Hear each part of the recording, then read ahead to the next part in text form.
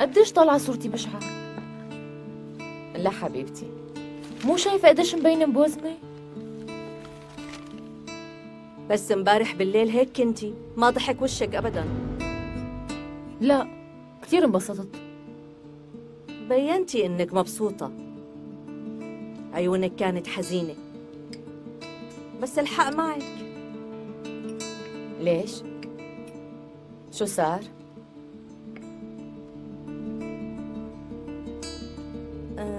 امبارح ما إجوا كل المدعوين. يعني كان في ناس كتير مرموقين بس الناس يلي كنا عم نستناهم ما إجوا. مثلا عائلة شاهين آر ما إجوا وابنهم كمان.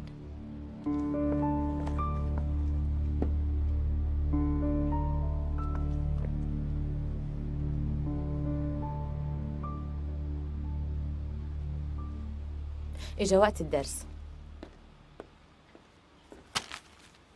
يلا لشوف على غرفة البيانو. ماشي.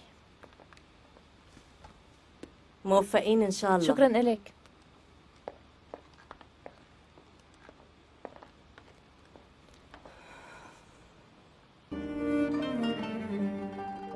اليوم اتصلوا فيني عدة صحفيين. عم يسألوني عن وضع سمر وعم يحاولوا يعرفوا شي عن حفلة امبارح.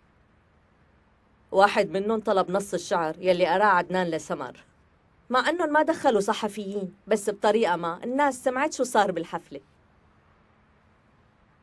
آه، اتصل في مهند. إيه؟ ما في شي اتصل هيك. شفتي شو صار؟ عم يهتم فيكي. كان بالكلية وقت حكى معي. عم بيقلك أنا جدي ما في داعي للقلق بنوب. أنا بالكلية اليوم. والله ما عم صدق. ليش بده يقدم لي تبرير؟ لأنه صار عم يهتم فيكي. ما إجا امبارح الحفلة لأنه متوقع يجوا الصحفيين ويبلشوا بتعليقاتهم. يعني لو شو ما صار يصير كانوا رح يصوروكم مع بعضكم. أساسا كاتبين إنه مهند ما شارك بالحفلة. شفتي؟ أصلا كنتوا رح تكونوا قريبين لبعضكم أكثر لو ما نشروا هداك الخبر. كأنه كان وقتهم. لا أبدا ما رح أسمعك.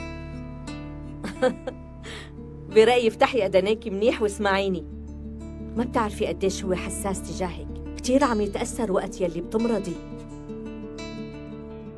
تتذكري وقت غميتي بالصالون؟ ماني حابة أتذكر هداك اليوم. ما بتعرفي قديش تأثر مهند. فورا أخذك بحضنه.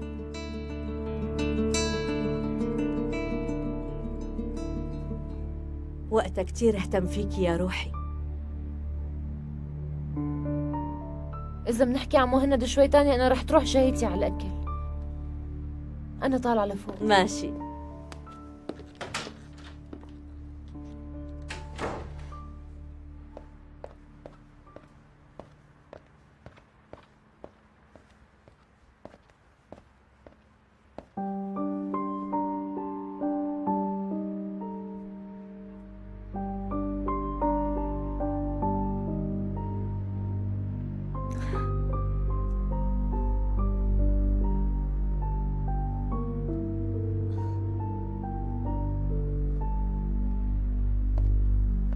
呵，